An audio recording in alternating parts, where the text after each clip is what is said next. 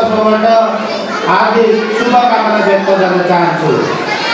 यो स्कुलको चौबिसौँ वार्षिक उत्सव मनाइरहँदा हामीले नेपालको शिक्षा क्षेत्रमा अनेकौँ किसिमको परिवर्तनहरू हामीले देखिसकेको छौँ। सामुदायिक विद्यालय र संस्थागत विद्यालयहरूको अहिले शैक्षिक स्तरमा धेरै परिवर्तनहरू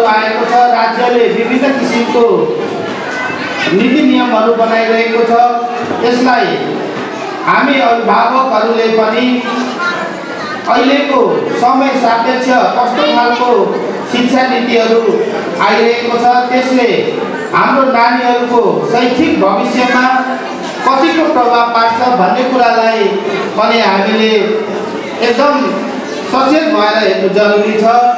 अहिले सरकारले माध्यमिक विद्यालयहरूलाई नि शुल्क शिक्षाको कुरा जुन उठाइरहेको छ त्यसलाई स्थानीय तहले अहिले सबको व्यवस्थापन स्थानीय सरकारको तर्फबाट पनि त्यसलाई नीतिगत रूपमा व्यवस्थापन गर्ने तयारी गरिरहेको छ।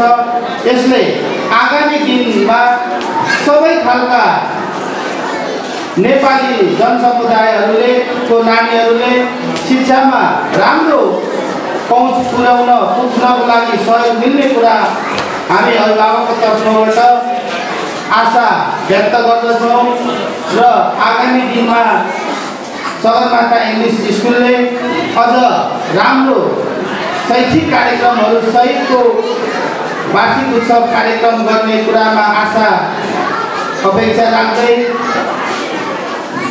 अभिभावकको तर्फबाट पनि केही बोल्ने मौका दिनुभएकोमा स्कुल परिवारलाई हार्दिक धन्यवाद दिँदै मेरो छोटो मन्तव्य नियन्त्रण गर्छु। हस्त धन्यवाद नमस्कार।